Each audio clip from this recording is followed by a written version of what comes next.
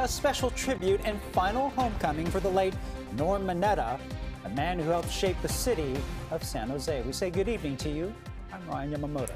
Hi, I'm Sara Donchey. This evening, the city of San Jose is paying tribute to Norman Mineta. He served as mayor, congressman, and history making cabinet member.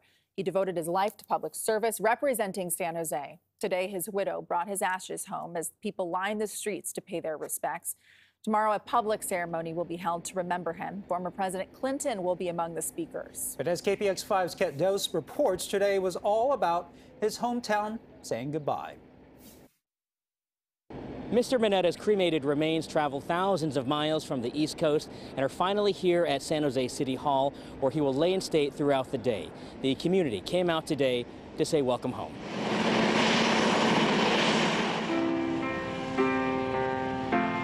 As Norm Mineta landed at the airport that bears his name. While his motorcade passed through his childhood neighborhood of Japantown, amidst the outpouring of love and respect, it all begs the question was he a friend, a hero, or a public servant? Perhaps all of the above. Longtime civil rights activist Blanca Alvarado was a close friend. These moments of reflection are a tribute to a man who was everybody's BFF. As the procession winded down Fifth Street, Mineta's wife Deni looked on at the San Jose Buddhist Church Betsuin and the young children at Lotus Preschool. Today they learned Mineta was San Jose's first Asian American council member and mayor, who served 10 terms as a U.S. congressman and later as transportation secretary. Knowing that uh, Mr. Mineta has come from the San Jose Japantown community, it makes a difference. And maybe they don't quite get the whole thing now, but they will.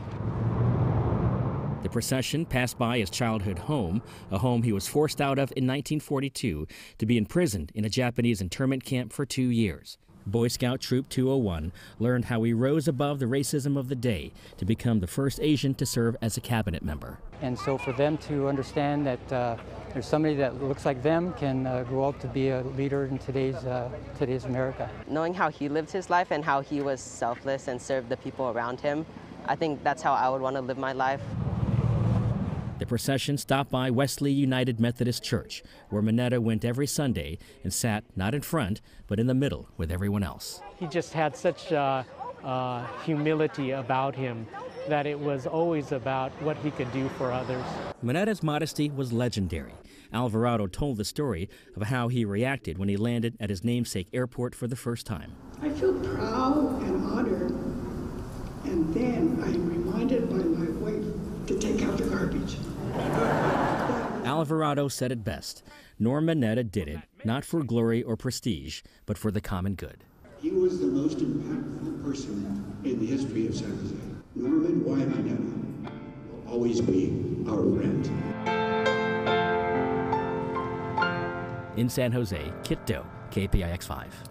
A well-deserved homecoming there. Well, we posted more about Norm Mineta's background and his time in the internment camps, including the story of his unique friendship with a fellow Boy Scout that lasted through Congress. You can find it on the homepage at kpix.com.